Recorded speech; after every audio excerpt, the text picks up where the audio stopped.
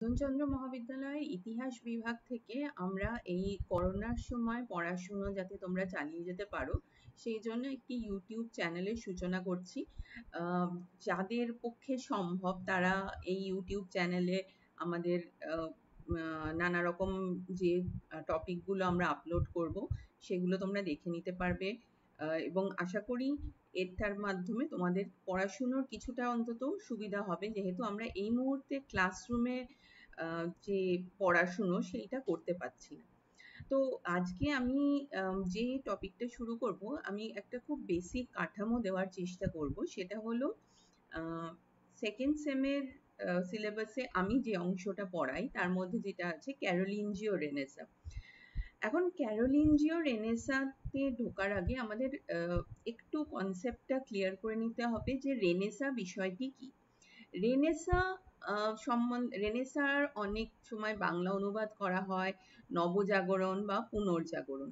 অর্থাৎ পুরনো কোনো বিষয় যেগুলো ভালো ছিল এবং আধুনিক যুগে সেটি যথাযথ নয় বলে সেই পুরনো যুগের যে চিন্তা চেতনা, সেই চিন্তা চেতনাকে আরেকবার নতুন করে জাগরিত করে সমাজ এবং সংস্কৃতির উন্নতি করাই হচ্ছে রেনেসার লক্ষ্য। এবার ইউরোপের ইতিহাসের গুরুত্বপূর্ণ জিনিসটি হলো যে ইউরোপের ইতিহাসে একাধিক রেনেসার আগমন হয়েছে আমরা বলতে পারি। একাধিক রেনেসার প্রকাশ ঘটেছে। এই আমরা তার মধ্যে সবচেয়ে বিখ্যাত বলতে পারি আমরা ইতালির রেনেসাকে সেই সম্বন্ধে আমরা পরবর্তীকালে আলোচনা করব যখন তোমাদের সিলেবাসে এটা আসবে। আপাতত আমাদের বিষয় হচ্ছে ক্যারোলিনজিও রেনেসা ক্যারোলিনজিও রেনেসাকে অনেক ঐতিহাসিকরা মধ্যযুগের আদিতম রেনেসা বলে মনে করেন। ক্যারোলিনজিও রেনেসার মোটামুটি সময়কালটা হলো অষ্টম থেকে নবম শতকের মধ্যবর্তী সময়। এই সময় তোমরা মনে করতে পারবে যে এই সময় একটা রোমান সাম্রাজ্য ছিল এবং সেই রোমান সাম্রাজ্যের শাসনকর্তারা ছিলেন ক্যারোলিনজিও বংশজাত। তার ফলে এটিকে ক্যারোলিনজিও রেনেসা নাম দেওয়া হয়েছে। তবে শুধুই যে যে বংশের সময়কালে রেনেসা হচ্ছে সেইটি সেইটা কিছুকে নিয়ে আমরা রেনেসার নাম দিচ্ছি তা নয়। এটা আমরা যখন আরেকটু এগোবো, তাহলে তোমরা বুঝতে পারবে যে এটা সব অর্থেই ওই রাজবংশের রেনেসা ছিল। আমি আমরা যে সময়কার কথা আলোচনা করছি, সেই সময় রোমান সাম্রাজ্যের নেতৃত্বে ছিলেন শার্লামেন এবং শার্লামেনের আমলে এবং তার পুত্র এবং পুত্রের পুত্রের আমলে এই রেনেসা সর্বাধিকভাবে বিকশিত হয়েছিল বলে জানা যায়। তারপরে রোমান সাম্রাজ্যের পতন হয় এবং রোমান সাম্রাজ্যের পতনের সঙ্গে সঙ্গে এই রেনেসার কিন্তু অবসান হয় এবং এই রেনেসার যে খুব একটা সুদূর প্রসারী প্রভাব আছে সেটা নিয়ে ঐতিহাসিকদের মধ্যে মতভেদ রয়েছে। এমনকি ঐতিহাসিকরা অনেকে এই নবজাগরণকে একটু প্রশ্নের চোখে দেখেছেন। তার একটা প্রধান কারণ হচ্ছে যে ক্যারোলিনজিও যে রেনেসা, সেই রেনেসা কিন্তু নিজের থেকে বিকশিত হওয়া কোনো সংস্কৃতির চর্চা নয়। ক্যারোলিনজিও রেনেসার প্রধান কর্মকেন্দ্র বলা যায়, ছিল কিন্তু শার্লামেন এবং তার দরবার। এবং এই এই জন্যে এই রেনেসাকে ঐতিহাসিকরা অনেকটাই সীমিত এক রেনেসা বলে চিহ্নিত করেছেন যে এই রেনেসা কিন্তু সাধারণ মানুষের মধ্যে বা তথাকথিত যে সমস্ত শিক্ষিত মানুষদের মধ্যে তাদের সবার মধ্যেই প্রবলভাবে ছড়িয়ে পড়েছিল তা নয়। এই রেনেসার পিছনে যে মূল উদ্যোগ সেটাও ছিল শার্লামেনের এবং এই রেনেসা মূলত তার সভা, সভায় এবং যাজকদের মধ্যে সীমাবদ্ধ থেকে গেছিল। শার্লামেন নিজে প্রথাগতভাবে শিক্ষিত ছিলেন না, কিন্তু শার্লামেনের শিক্ষার প্রতি আকর্ষণ খুবই বেশি ছিল। এই জন্য কিন্তু শার্লামেন চেয়েছিলেন যে সেই সময়কার যে সমাজ, সেই সমাজের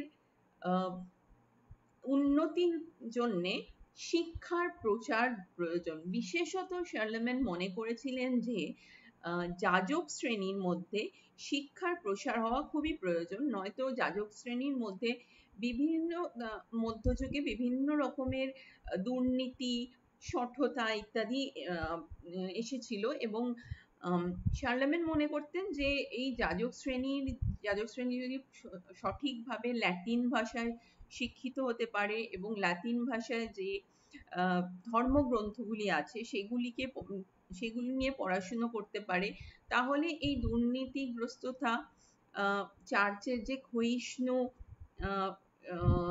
একটা চেহারা, সেই চেহারার বদল ঘটতে পারে। এছাড়াও শার্লেমেনের কাছে খুব বেশি গুরুত্বপূর্ণ ছিল তার সাম্রাজ্যকে একটা লেজিটিমেসি দেওয়া। যে জন্য তিনি খ্রিশ্চানিটির সঙ্গে তার সাম্রাজ্যকে কিন্তু জুড়ে রাখতে চেয়েছিলেন। এখানে এবং পরবর্তীকালে তোমরা জানো যে তার সাম্রাজ্যকে হোলি রোমান এম্পায়ার বলা হয়, হয়েছে। তো সেইটার সূচনা অনেক ঐতিহাসিক মনে করেন, সেই বিষয়ের প্রথম পদক্ষেপ ছিল কিন্তু এই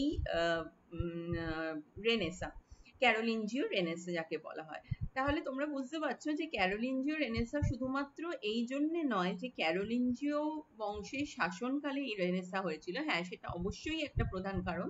কিন্তু তার সঙ্গে এটাও ঠিক যে ক্যারোলিনজিও বংশ এই রেনেসায় প্রত্যক্ষভাবে মদত জুগিয়েছিল। অর্থাৎ আমরা অন্যান্য সময় যে সমস্ত রেনেসা দেখেছি, তাতে কিন্তু অনেক সময় দেখেছি যে শাসক যে বা উচ্চ শ্রেণি যে যা তাদের তাদের প্রতি এক ধরনের বিরোধ থেকেছে। কিন্তু এই রেনেসায় কিন্তু সম্পূর্ণভাবেই এটা শাসক দ্বারা পরিচালিত এক ধরনের রেনেসা ছিল। তো এই ক্যারোলিনজিও রেনেসার আরেকটা খুব গুরুত্বপূর্ণ বিষয় ছিল যে অশিক্ষিত যাজকরা কিন্তু ওই পুরনো যে সমস্ত ক্লাসিক্যাল টেক্সট সেই ক্লাসিক্যাল টেক্সটগুলিকে নিজেদের মতো করে আবার কপি করে করে রাখতে পারতো না। তখন তোমরা জানো নিশ্চয়ই যে প্রিন্টিং প্রেস তো তখন আবিষ্কার হয়নি। তখনও মুদ্রণ বিপ্লব হতে অনেক দেরি আছে। তো তার ফলে হাতে লিখে লিখে কিন্তু পুরোনো টেক্সট গুলোকে প্রিজার্ভ করা হতো। তো এই যে প্রিজার্ভ করা হতো, সংরক্ষণ করা হতো, এই সংরক্ষণের জন্যে শুধুমাত্র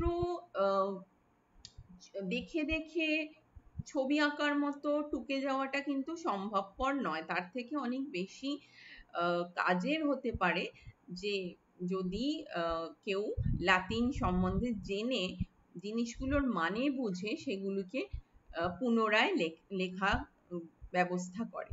তো আরও এর সঙ্গে আরও একটি গুরুত্বপূর্ণ জিনিস জড়িত ছিল, সেটা হচ্ছে যে এই রেনেসার সময়কালে কিন্তু ক্যালিগ্রাফি আমরা যেটাকে ক্যালিগ্রাফি বলি, তোমরা হয়তো কেউ কেউ দেখেছ যে অনেক সুন্দর সুন্দর করে অক্ষরের যে বিন্যাস, সেই বিন্যাসের একটা ডিজাইন করা, সেই জিনিসটাকে আমরা ক্যালিগ্রাফি বলি। সেই ক্যালিগ্রাফিরও কিন্তু এই সময় প্রভূতভাবে প্রচলন হয়েছিল। তাহলে আমরা প্রথম অংশে এইটুকু বুঝতে পারলাম যে ক্যারোলিনজিও রেনেসা ব্যাপারটা কি এবং ক্যারোলিনজিও রেনেসাকে এই নামটাই বা কেন দেওয়া হলো।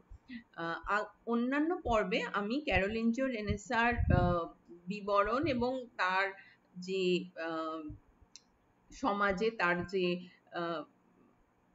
কন্ট্রিবিউশন যাকে বলে, সেইটা কতটা হয়েছিল সেইটা নিয়ে আলোচনা করব। আপাতত আমরা ক্যারোলিনজিও রেনেসার মূল কাঠামোটা একটু বুঝতে চেষ্টা করলাম।